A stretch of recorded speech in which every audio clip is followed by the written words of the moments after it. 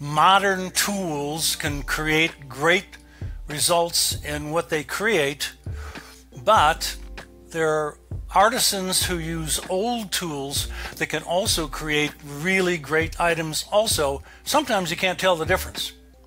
So it's not necessarily the tool you have to use, it's how you use the tool.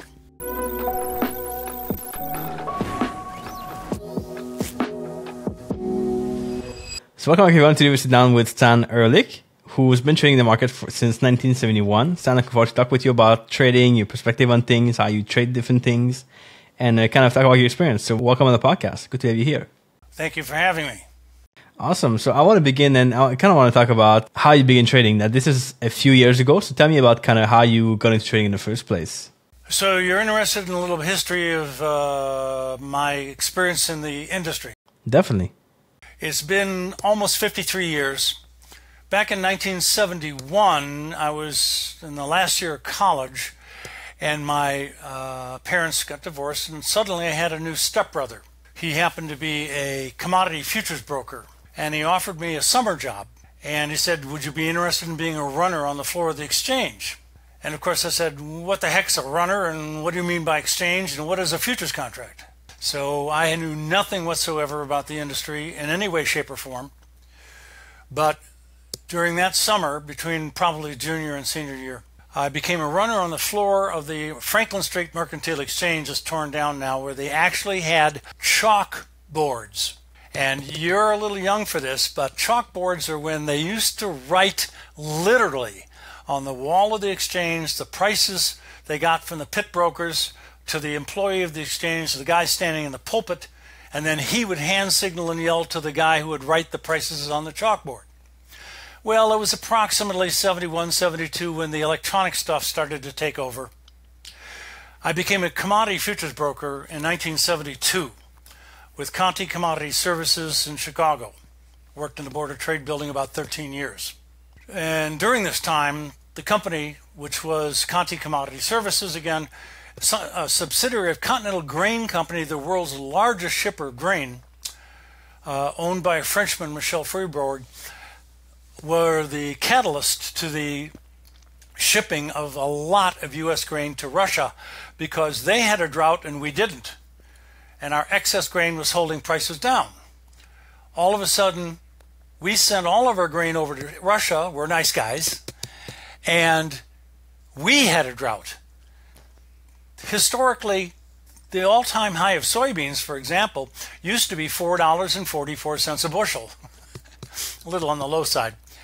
Within approximately a year, it got to $12.90, screaming higher, very similar to a little year, about a year ago with the wheat market because of Croatia.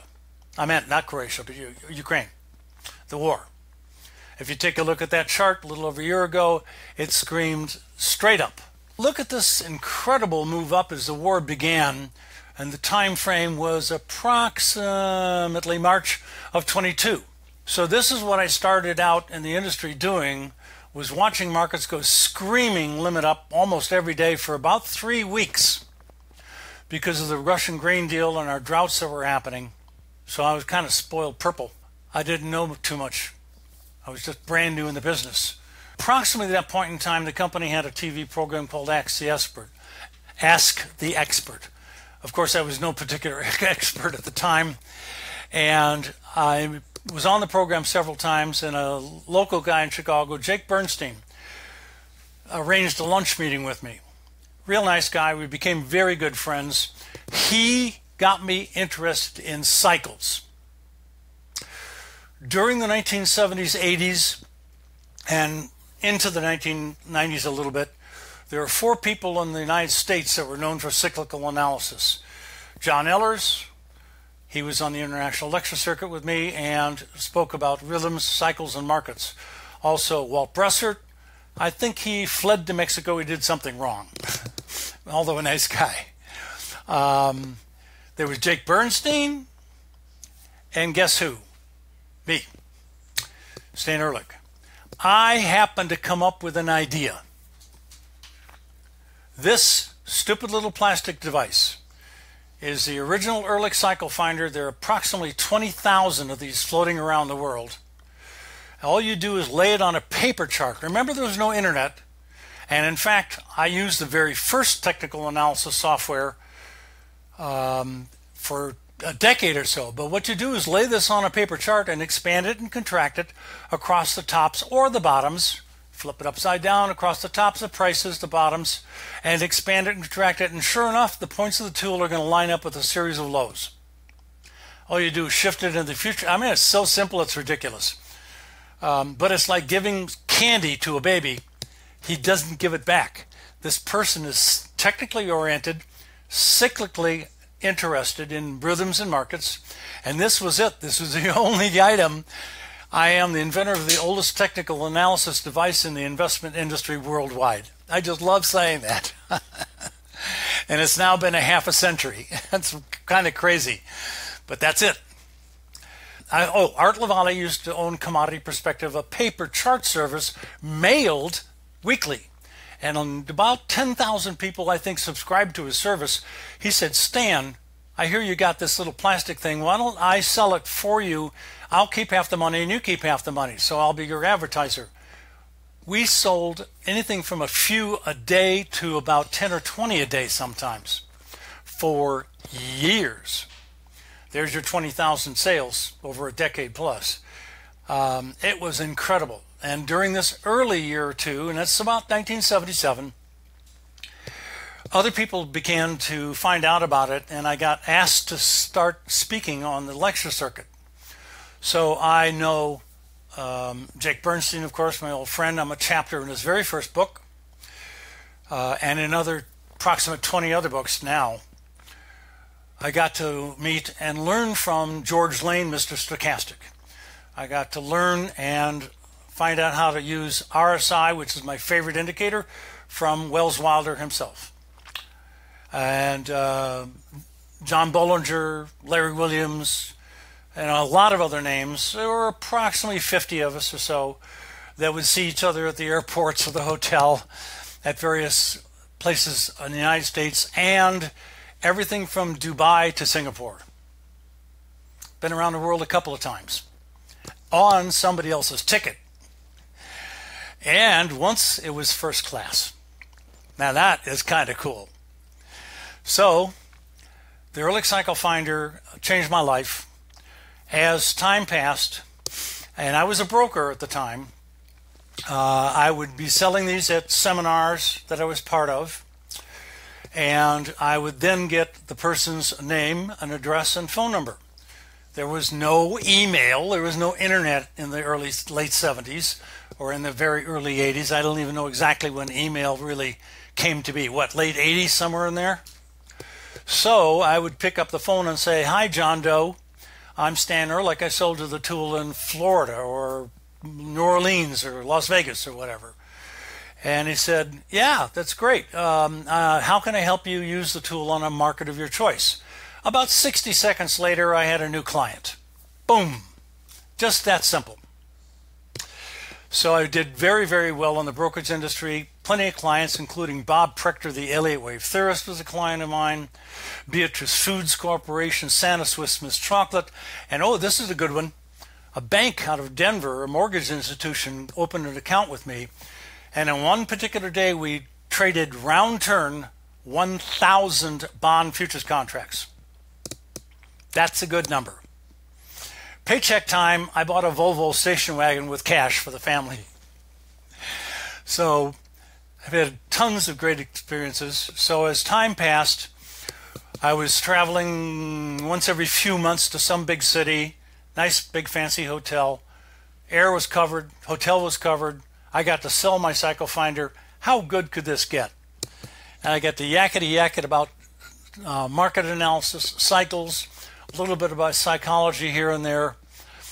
And as time passed, I became uh, the owner of an independent brokerage firm. It was my firm, Ehrlich Commodity Futures, for approximately a decade. Uh, let's see, I was also speaking for TradeStation, which used to be called Omega Research before uh, the year 2000, at all three of their major conferences, which was Orlando, Las Vegas, and New York in that order.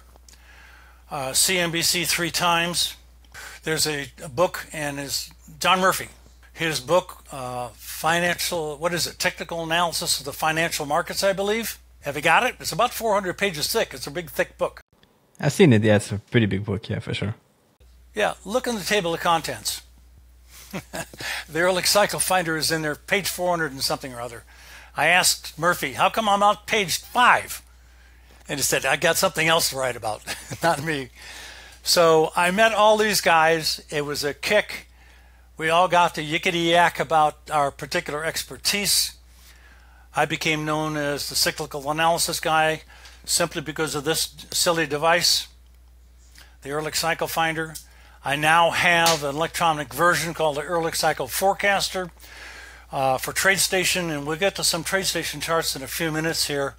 And I'd like to show you what I've been developing the last approximate 12, 13 years, or um, ER Signals, automated trading system. You have some technical analysis techniques yourself, right? Some tools that you offer to the trading public, correct?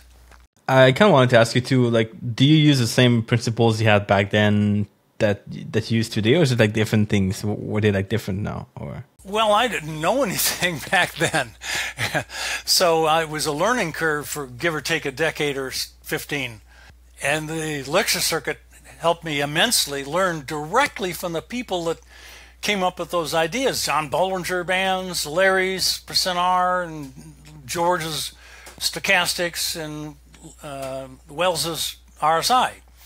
Over time, I chose a relative strength index, very simple, straightforward, uncomplicated tool to use. But may I present a concept for you? These days, of course, and you could say this at any point in history, modern tools can create great results in what they create, but there are artisans who use old tools that can also create really great items also. Sometimes you can't tell the difference. So it's not necessarily the tool you have to use, it's how you use the tool. So I use RSI, it's a custom version. I don't look back 14 days, I look back less. I like a higher uh, overbought condition and a lower oversold condition. And I tweak the representation of the RSI differently. It's certainly not a line chart anymore.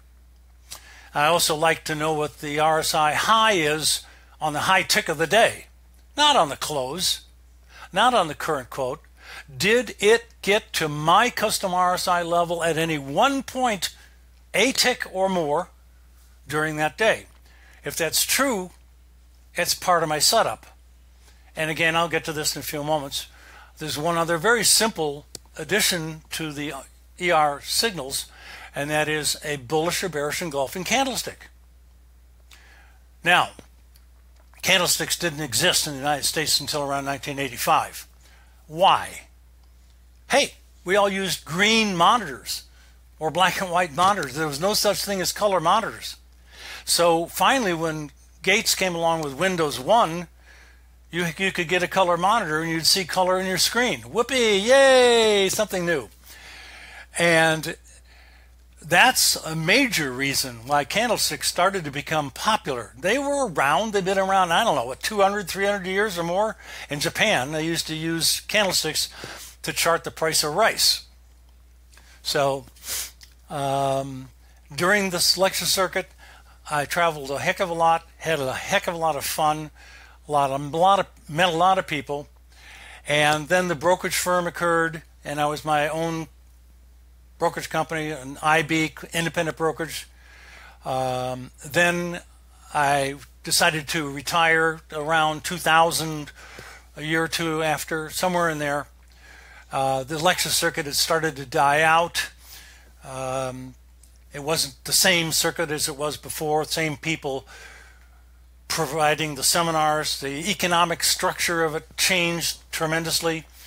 Nowadays, a lot of these new shows, the money money shows and so on, the uh, general public can attend free of charge, and the exhibitors and speakers have to pay to get a spot to lecture and or exhibit their material, which could be books or in my case the cycle finder, market letters, whatever. Um, so, in the old days, I actually got paid to travel, hotel, and everything else. And frequently, the presenter or the organizer of the seminar series over the weekend, you arrive on a Thursday night. Um, you made sure everything was good and working right on Friday, and then started up on Friday evening with a cocktail party for everybody, that kind of thing. Then you had a couple of speaking spots on Saturday morning, a couple on Saturday afternoon, a couple on Sunday morning, and people started to fly home on Sunday afternoon. And that was the circuit. So I, one of the speakers, would have usually two spots, and they were typically an hour, maybe two hours each, uh, on like Saturday morning and then afternoon, or maybe Saturday morning Sunday morning, something like that. The rest of the time, I had uh, to exhibit my material in the exhibitors hall and or be a tourist. So frequently people would come up and say, "Hey, uh, can I take you out to dinner?" So the food was most of the time free. Can I go on with whatever? Everything was it was fantastic. I just loved it. Now everything's changed, of course. Now it's like this between you and I, um, and you don't have to jump on an airplane. Not that that's all that bad. I like to travel very much. Um, lived in Singapore for a year, so at one point, while I was president of a forex trading firm called Solid Gold Financial Services from I believe 02 to 06, um, 07, or 3 to 8, somewhere in that five year period. Uh, a couple of the clients were watching me teach the brokers in the office technical analysis, and I was talking about the market letter I was writing. I've written five different technical analysis market letters. This one was was with Dan Zanger of ChartPattern.com. Uh, my, my, my letter was the Ehrlich report next to his Zanger report. But uh, while I was teaching it, the track record for this market letter was evolving into approximately 100% a year. So the two clients in the office one a vascular surgeon, another guy from Monaco, uh, they call themselves Monegasques, said, Hey, Stan, we got a chunk of money each. We would be interested in you managing our money. So they made me a hedge fund manager.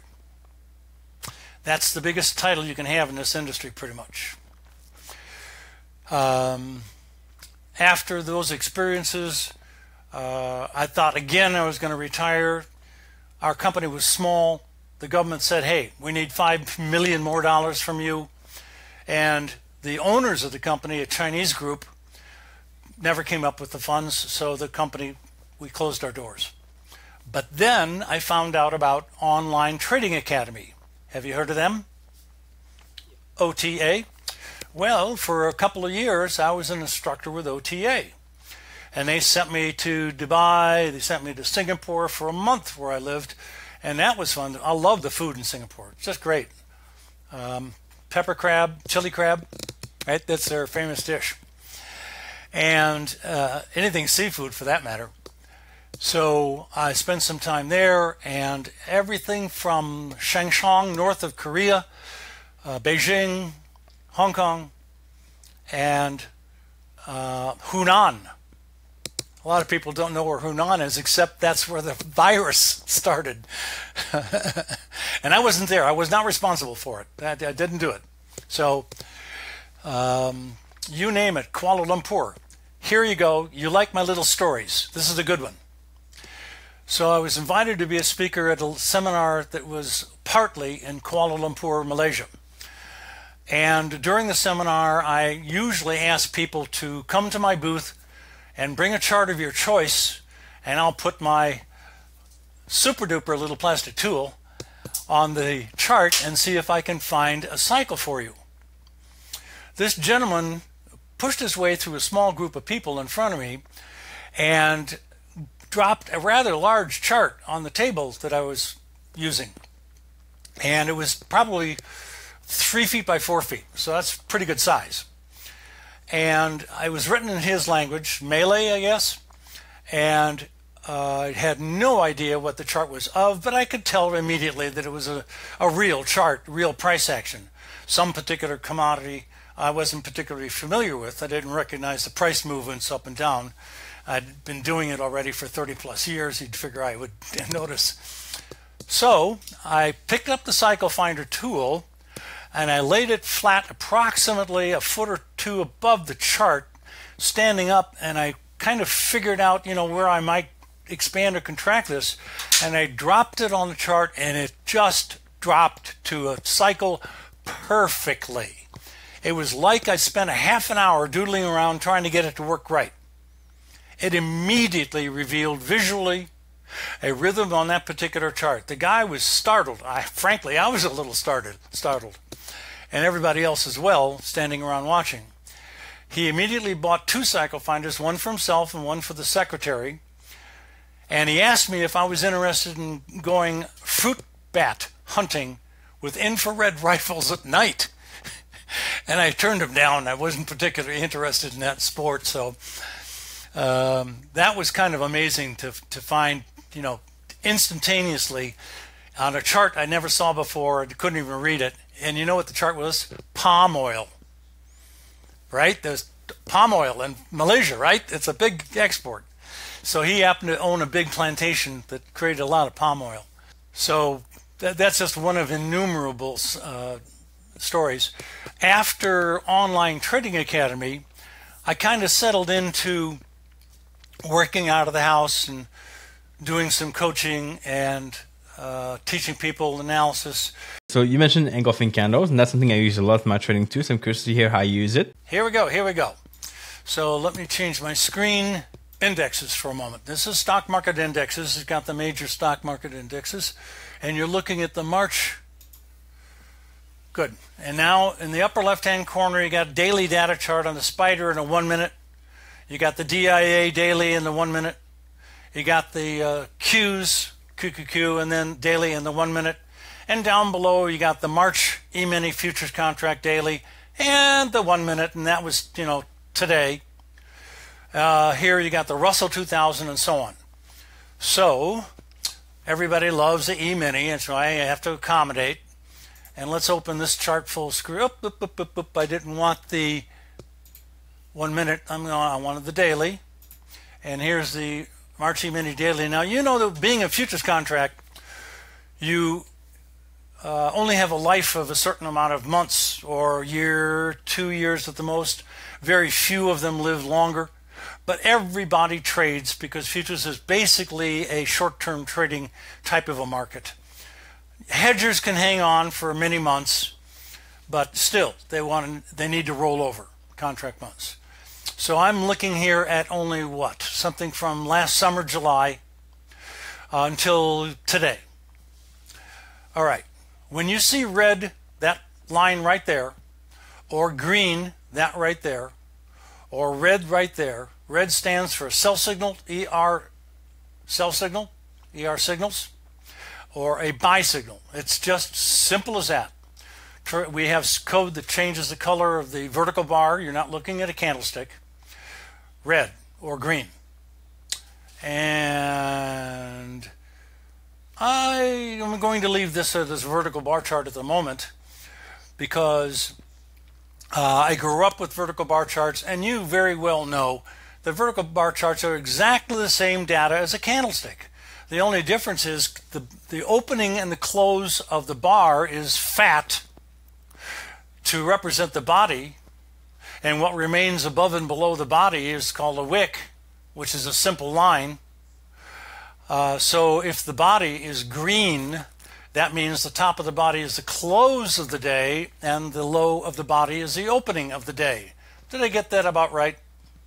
Yes, I did. Yep, bingo. So pretend the damn thing is a candlestick. Maybe I can get to a candlestick chart. Or maybe the next time you interview me. Next time. So on this vertical bar chart, what we have is a bearish Japanese candlestick. The closing price right there is the body, uh, bottom, uh, the low of the body, and the opening, which is right up there, a little tick mark, is the high. So you have a very small little teeny wick up there and a little tiny one at the bottom. But the important thing is, is that above the previous day's high? Just say yes. Yep. Yep. Okay. Got to hear you loud and clear. Is the low lower than the previous day's low? Yep. Good. So this is not what we used to call an outside trading range day or key reversal. And now we just call it a bearish candlestick. So if you have a bearish candlestick, which is normally a sell signal on the average, that's why people recognize it, and it says the market's supposed to start going down. And you have my custom RSI. Yeah, good, I grabbed it. Index and it's overbought above the red line. That's not 70, that's 75. At the high of the day, price wise, did it register a calculation on the RSI scale of above 75? Is the answer yes? You have an overbought condition, my custom code, but it's a variation on Welles Wilder's original. I plot the high of the RSI during the day, I plot the low of the RSI during the day, and I plot the close the old fashioned way with a tick mark. It looks like a high low close chart, but it's not. So again, if the high of the RSI is overbought at any tick during the day, and it could be, you know, half the day, it could be most of the day, or it could be one tick, it will change my prices red if the price action is also a bearish engulfing. Did you get it? Yeah, interesting. Keep watching, please. I'm serious. Okay, we got a sell signal at the top day of the market. Period. This is almost a low day. It is a bullish engulfing in oversold condition below 25 at the low of the day. Unfortunately, I'm not getting them at every turn. I don't know of a system that does. But watch how often, in the examples I'm about to show you, you're going to see green at the bottom and red at the top, or very close. Red at the top. Now that's just in the last several months. We picked two important tops and an important, I'm sorry to say, not the lowest low, but this is, okay, I'm going to pull the RSI subgraph back down and I'm going to resize it for a second so that I'm going to grab the spider, the SPY, which of course is the S&P 500, but it does not expire. We can go back to I think 1983, I think, to see when the S&P SPY, it's an ETF, started trading which was, I have to tell you, uh, 93, 83, 30 years after I've been a broker. yeah, yeah, yeah, I've been around too damn long. Well, anyway, pulling the chart to the left, or to the right if you wish, what color is that? Green. What does that mean? It means buy it. Now, I have very succinct, exact, specific, unyielding rules as exactly how you get into the trade and an immediate simultaneous placement of a protective sell stop when you're long, a sell stop, commonly called a stop loss order, but I hate that phrase. It's not a loss if you're using the stop to protect a profit. So, protective stop, I think, is a better phrase to use. What color is that? Red. Now, these signals of mine don't always produce the October 13th low of 2022, the bottom of the bear market for the whole damn bear market, and the beginning day of the ninth, of the 2023 bull market, which we are still in and just about to make new highs with. So that low right there, October 13th, on my YouTube market analysis channel, I talked about way a month plus in advance because guess what? In the last 30 years, over 90% of the time, you have a profound, significant buying opportunity.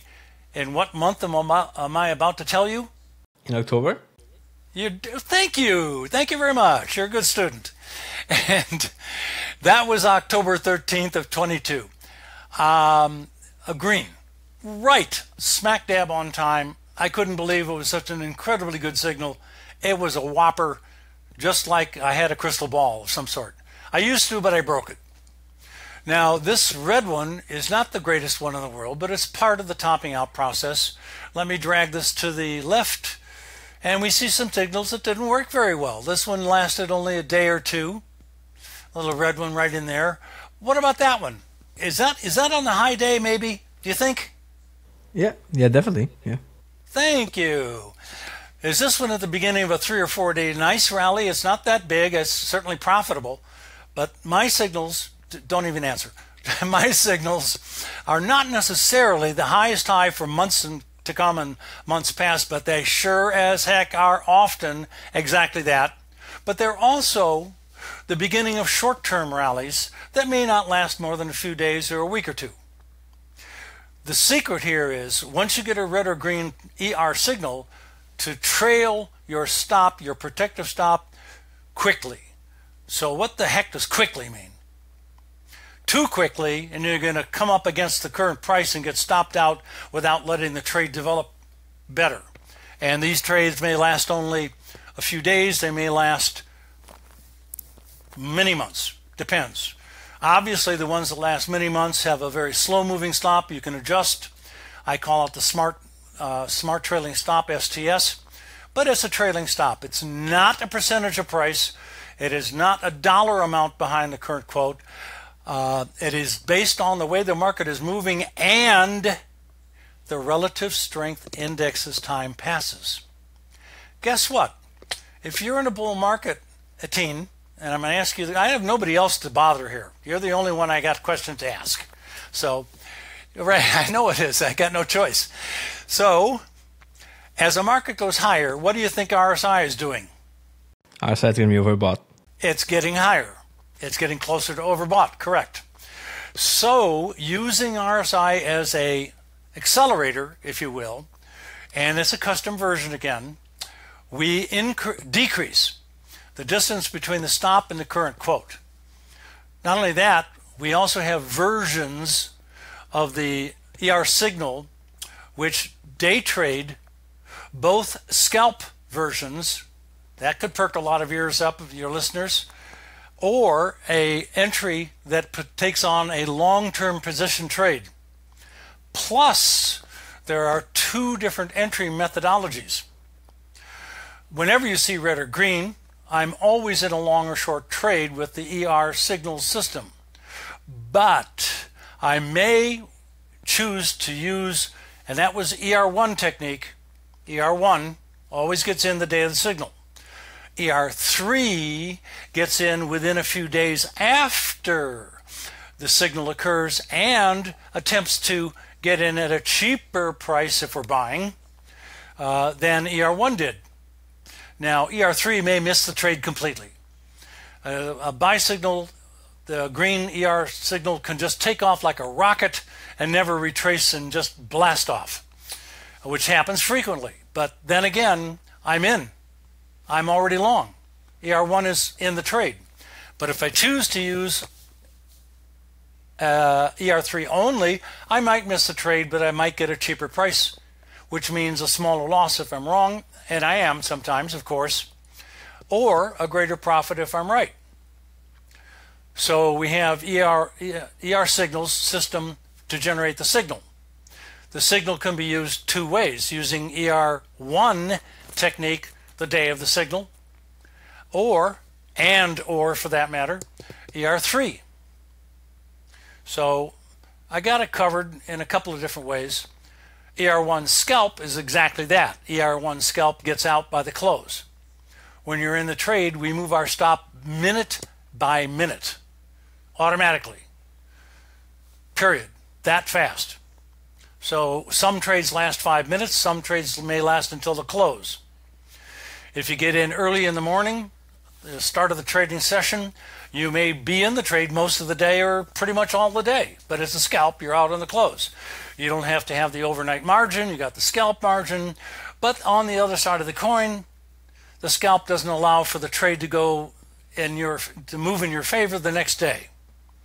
So you're out already. So there's pros and cons. If you use ER1 overnight version, you don't get out on the close. You hold the trade, and the stop keeps being re entered every morning, and keeps moving with the market. If the market doesn't cooperate and the signal's bad, you get bumped out with a loss maybe. But we never take large losses. I repeat that. One of the strengths of the ER signals is we always have a stop immediately. We know exactly where we're going to put it and why, and it's done automatically, and it never has a really big loss. We're not looking at 1% of value or a certain dollar amount, which you could, but the original formula, the one I like to use for the most part, uh, uses a pre- predisposed technique. So it's a little different for every trade, depends upon the price action and the price at which the market's trading. Uh, let me go to, and that was S&P daily data. Hey, I got it. Give me a commodity. Make me smile. Give me a give me a damn commodity. Come on. How about you want to have a look at forex? Because uh, a lot of the audience is based on forex, so it might be interesting. You, you want forex? You want forex? I got forex for you. Hang on. Here's the euro dollar. Uh, no, that's the Japanese yen. I'm sorry, the dollar yen, USD JPY.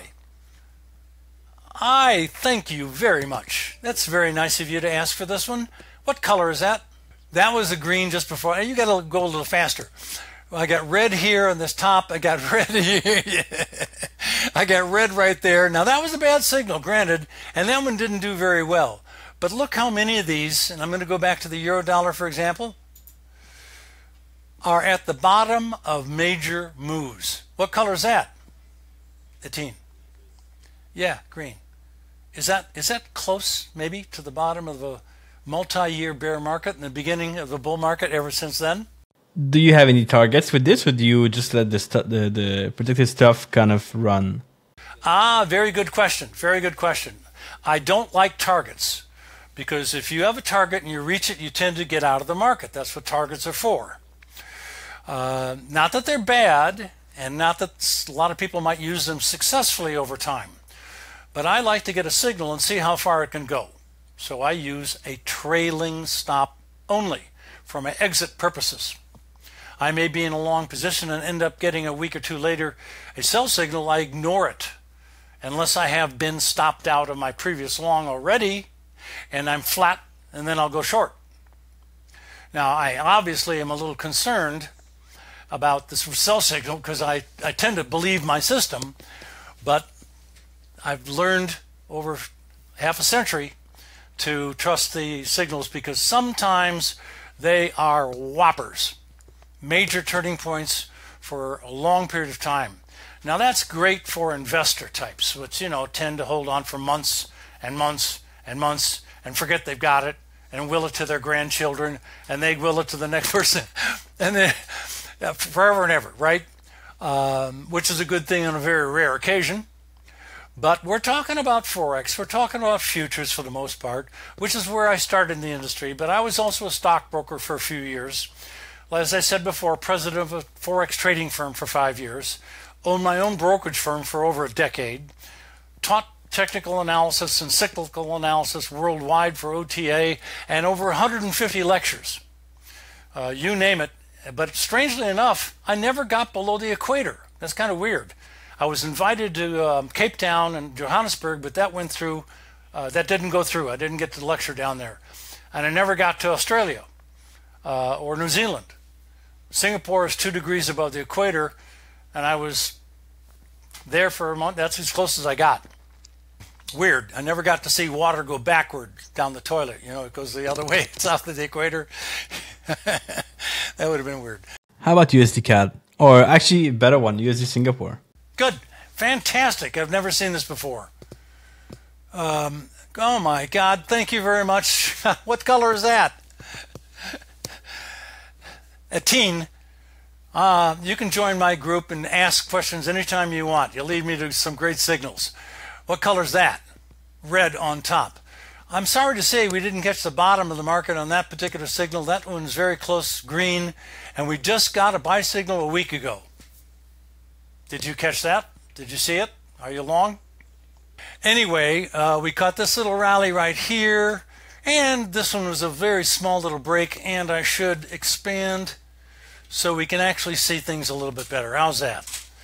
So green, green rally for several days. Now remember, some of these are not, most of them are not the high or low for months and months to come, but this one's awfully damn good. Oh, whoop, whoop, whoop, whoop, that's better. Just a few days earlier. And uh, that one's almost the exact high day. And buy near the bottom and the top day. You can plainly see in this case that it's a bearish engulfing candlestick because of the size of the bar and the closing and opening prices. Um, but again, I could load NinjaTrader and show you candlesticks, but I'm using candlestick uh, vertical bar charts in TradeStation. Sorry about that. How about that little one there? It doesn't have to be big. It only has to qualify. And dragon, dragon. I wish I could say that I get a lot of signals very frequently, but these are quality signals. Here's another green smack dab on bottom. The market went immediately straight south, and this is Forex. And I've never seen the Singapore, yeah, Singapore dollar. Uh, I should put this in here. Uh, USD, SGD, saved. Good. What is it? The DAX, DAX? But that's a German stock market index. I wonder if I get that. Uh, it's a little thin, not very much yeah, that's not ch- choppy. It's a little thin. Not the, not the liquidity that I would like to have uh, revealed. And so I'm not actually getting very many signals at all. That worked for only a damn day. One damn day is not going to do you a lot of good. So this is not coming up like I was hoping. Have a look at the uh, Mexican pesos. So it's USD MXN. USDX MXN. I thought the peso was real thin, but it's not. Oh, oh, ouch.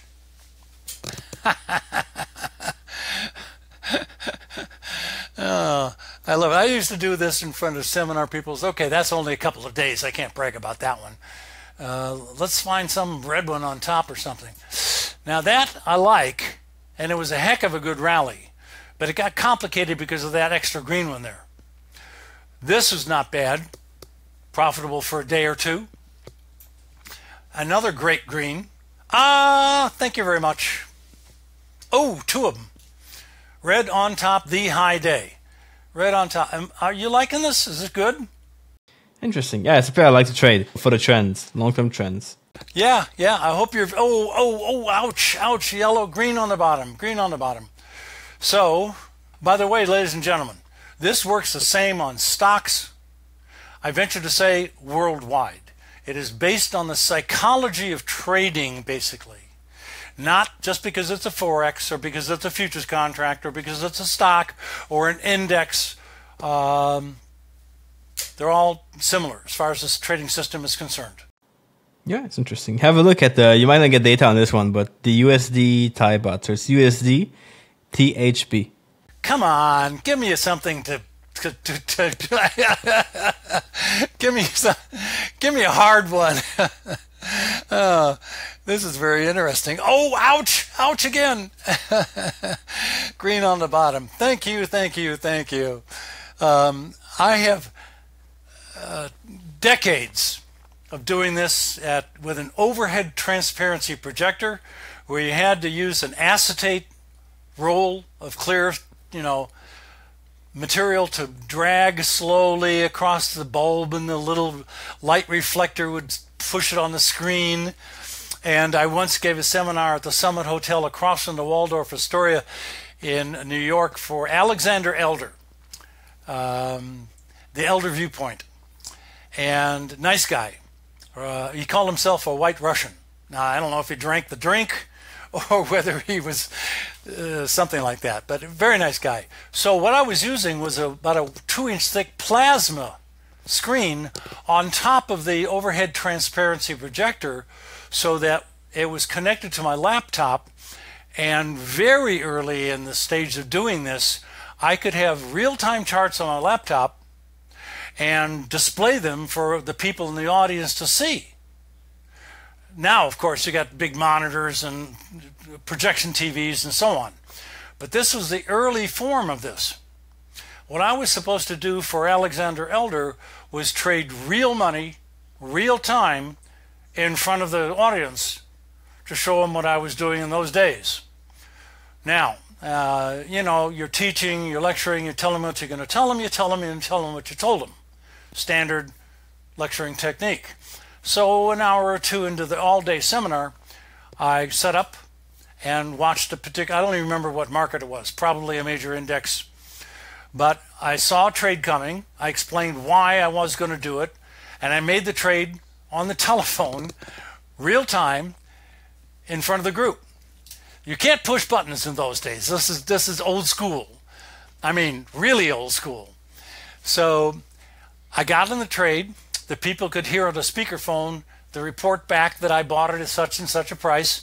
And we all watched for 5, 10, 30 minutes or whatever it was. And I said, well, this is a reason for me to get out, and this is why I'm going to get out. And I gave the order and I got out with a profitable trade. Well, all well and good. Yay, made one good trade. So I got in a second trade a little bit later. These are the stories you like. And it started to do well, but it fa- fairly quickly started to go sour on me. Now, I still had a little bit of a profit, and I hate, and people do this all the time, especially neophyte traders, beginner traders you turn a profitable trade into a losing trade and it don't come back. And you procrastinate. And you didn't think about where your stop was going to be. You didn't move your stop to protect a profit that you had. And so now you've got a loser and you don't know what quite to do. Well, you, you made the trade because you believed you were right. Let me ask you, Etienne, when's the last time you made a trade knowing and expecting you were going to be wrong? Yeah, all the time. Yeah, well, no, no, no, no, no. Don't do that to me. No, no, never, except for tax reasons, maybe. right. So, this is what people do, unfortunately. Beginner traders don't think about their risk before they get into a trade, no matter what technique you like to use. I don't care. If you don't practice good money management and good money management skills and protect your profits, there are going to be too many losers, and one of them is going to be really bad, and it's going to kill your account.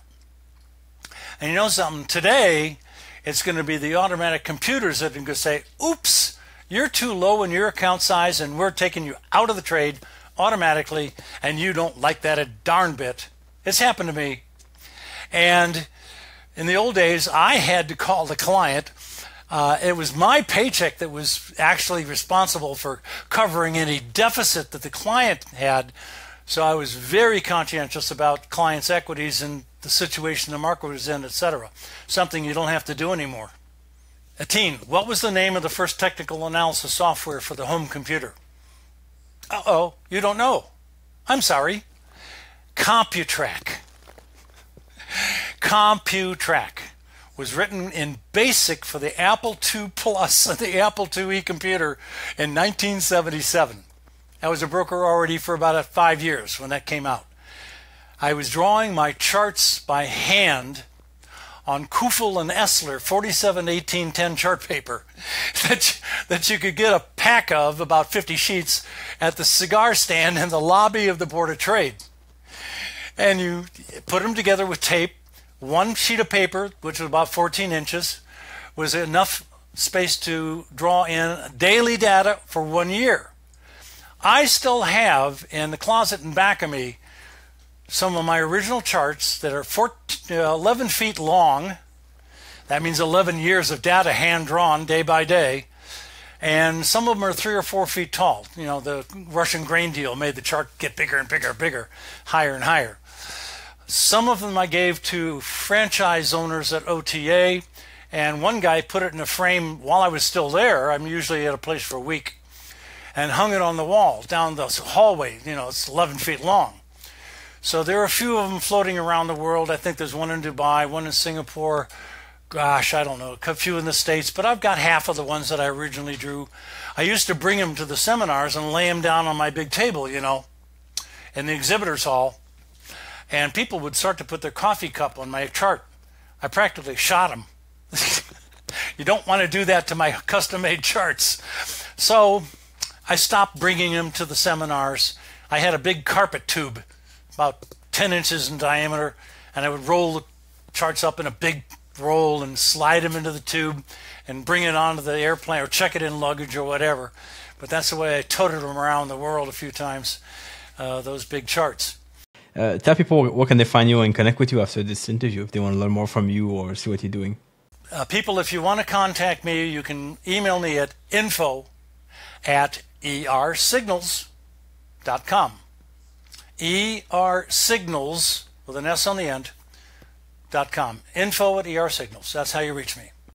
I'll leave the email link in the uh, description of the video. People can check it out directly and contact you there. And Stan, I appreciate your time. I appreciate the advice you give here to my listeners. There's a lot to be unpacked here, and we can definitely go uh, way into it next time for sure. And I really appreciate the time you spent with uh, the people here, teaching them good stuff about trading. I appreciate it.